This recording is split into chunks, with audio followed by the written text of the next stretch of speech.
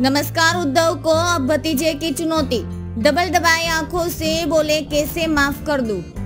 उन्होंने मेरे पिता का गुरु तोड़ा। उद्धव ठाकरे की मुश्किलें कम होने का नाम नहीं ले रही है। कांग्रेस से मुंबई की सीट बचाने के लिए जूझ ही रहे थे कि एकनाथ शिंदे ने उनके बेटे आदित्य ठाकरे के खिलाफ मिलिंद देवड़ा को मैदान में उतार दिया। देवड़ा को काफ़ी मज़बूत नेता माना जाता है, जब उद्धव को उनके भतीजे ने ही चुनौती दी है।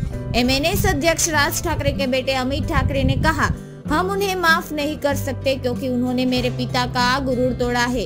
इंटरव्यू में अमित ठाकरे ने अपने दिल का दर्द बया किया। बताया कि किस तरह उद्धव ठाकरे ने उनके पिता को परेशान किया। दबदबाई आँखों से अमित ठाकरे ने कहा, मैं 2017 में बीमार था। उस समय उद्धव ठाकरे की पार्टी ने हमारे छह नगर पार्षद छीन लिए। मुझे पता है कि उन्हें कितने डिब्बे दिए गए थे। धन्यवाद।